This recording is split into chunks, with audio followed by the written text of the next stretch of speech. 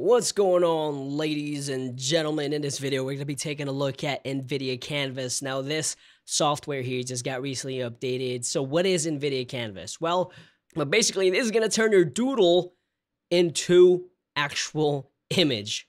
And this is great for stock images when you're just looking some stuff around or you're trying to create some crazy stuff. So let's go ahead and take a look at this. I have it downloaded right now. And we're going to start with a clean slate.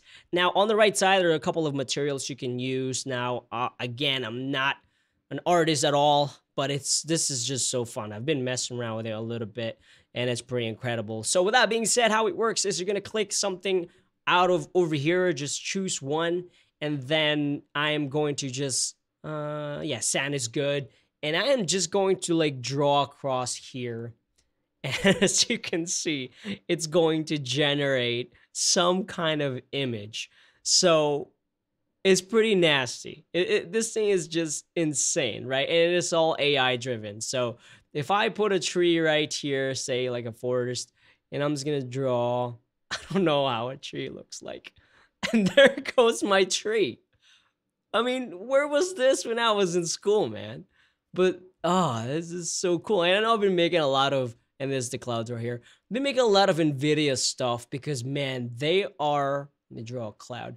They're coming out with so many fun things. It is incredible incredible with this AI stuff that they're pushing. And it's just so much fun. And you pretty much get the whole point of this. And it's pretty much just having fun in here. And maybe I can put like a rock right here. May get a bigger one.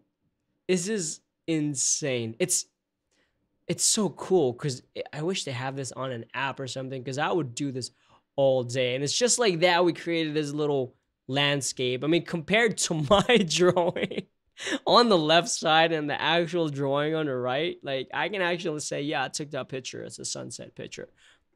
They even have, so what's crazy is they even have some type to image AI software now, NVIDIA does.